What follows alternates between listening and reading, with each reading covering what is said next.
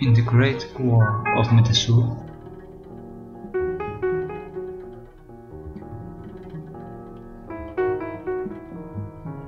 there is an ancient and old group called Reptilia.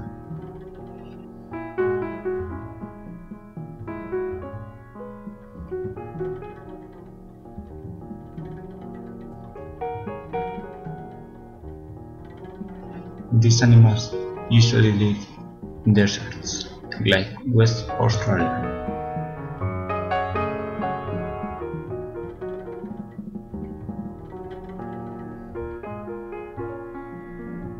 This scenery often implies water and food shortages. But types at this thorny devil have adapted to this habitat. Their flaky skin, covered by keratin and thorns, can catch the solar energy, which gives them the 80% of what they need, which permits them to absorb water.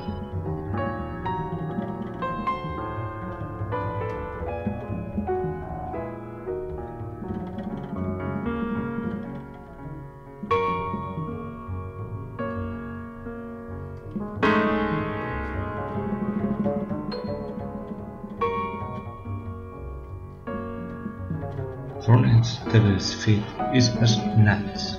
They can eat 5,000 per day.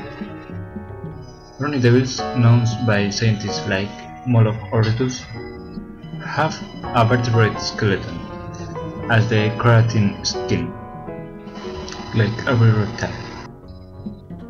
As are every reptile, these animals have cold blood. Reptiles' blood is not actually cold, but as hot as mammal's blood or even more.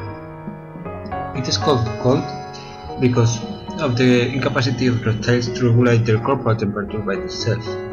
So sometimes they need to hide behind a rock or in sand or into water. This helps them to escape from predators, being helped by their capacity of change their color. In addition, thorny devils have a false head and a singular following walking which confused their predators beside the thorns.